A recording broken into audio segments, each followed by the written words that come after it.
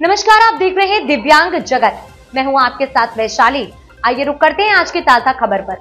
Bombay high court ने दिव्यांग व्यक्तियों के अधिकार अधिनियम 2016 के तहत राज्य सलाहकार बोर्ड में गैर आधिकारिक सदस्यों की नियुक्ति नहीं होने को लेकर राज्य सरकार को फटकार लगाई है। अदालत ने सरकार से पूछा क्या आप संसद के आदेश का पालन नहीं करेंगे। राज्य सलाहकार बोर्ड दो चौबीस से निष्क्रिय है मुख्य न्यायाधीश देवेंद्र उपाध्याय और न्यायमूर्ति अमित बोरकर की पीठ के समक्ष स्वतः संज्ञान जनहित याचिका पर सुनवाई हुई। इस दौरान पीठ ने कहा कि दिव्यांग व्यक्तियों के कल्याण विभाग के सचिव द्वारा 11 जुलाई को होने वाली सुनवाई से पहले राज्य के वकील को इस संबंध में स्पष्ट निर्देश नहीं दिए जाते तो वो संबंधित अधिकारी अपने समक्ष बुलाने के लिए बाध्य होंगे।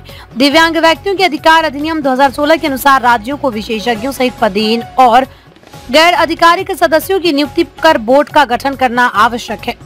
को अन्य विभागों और विकलांग व्यक्तियों से संबंधित गैर सरकारी संगठनों की गतिविधियों की समीक्षा और निगरानी करने, उनके मुद्दों को उठाने की सिफारिश करने समेत अन्य महत्वपूर्ण कार्यों का निर्वहन करने का अधिकार है।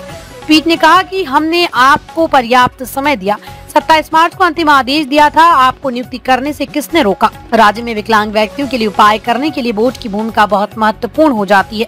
आज तक बोर्ड में रिक्तियों को नहीं भरा गया, पीठ ने विकलांग कल्याण विभाग के सचिव सुमंत भांगे द्वारा दायर हलफनामे का हवाला दिया, जिसमें कहा गया था कि बोर्ड का गठन पहली बार 27 फरवरी 2018 को किया गया था। 17 मार्च 2020 को गैर आधिकारिक सदस्यों की नियुक्ति वापस ले ली गई। उसके बाद से उनकी नियुक्ति नहीं की गई।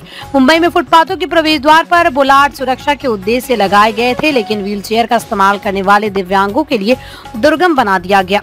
मुंबई महानगर पालिका की ओर से पेश वकील अनिल सिंह और मुंबई महानगर क्षेत्र विकास प्राधिकरण के वकील अक्षय सिंधे ने कहा कि शहर में फुटपाथों पर बुलाट हटाने का काम पूरा हो गया। पीठ ने बीएमसी और एमएमआरडीए को बुलाट को हटाने के लिए उनके द्वारा किए गए कार्यों का विवरण देते हुए हलफनामा दायर करने का निर्देश दिया है। इस खबर में फ़िलहाल इतना ही। अगली खबर में फिर होगी मुलाकात।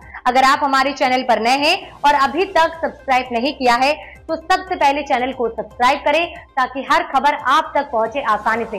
देखते रहिए दिव्यांग जगत, नमस्कार।